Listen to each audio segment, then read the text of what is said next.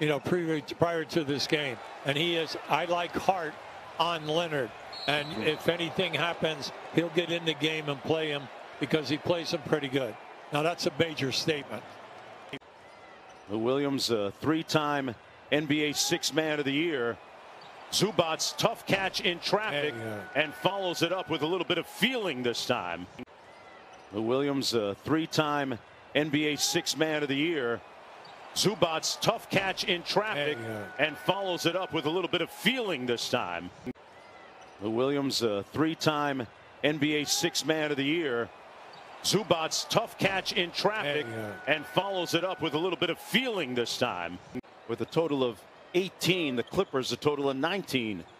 As Morris Jr. comes into the ball game for Los Angeles.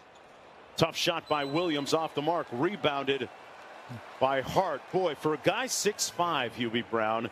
Terance Mann, as you saw in the ball game out of Florida State. Oh, Nice move by Alexander Walker, but a better block by Zubac. It'll stay Pelicans basketball with 10 on the shot clock.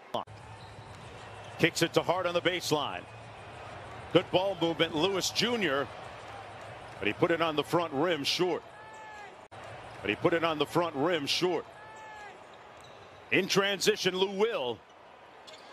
Great feed to Zubac, and he couldn't convert. This is the new look this year for the Pelicans. Zion Williamson as a primary ball handler in some offensive sets. big thing. You got to hold them down to one shot.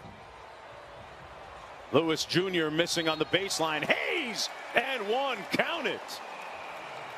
We always want to give that assist. That was a beautiful bounce pass.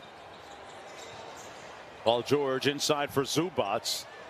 Zubac missing the little jump hook from point blank range.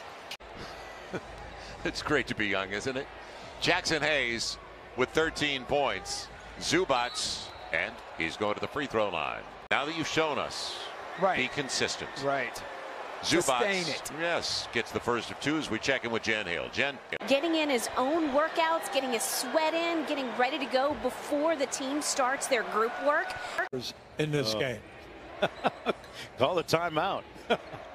Lou Williams from deep. Zubac with the offensive rebound. now and he's five of five overall, five of five at the line, and see you later.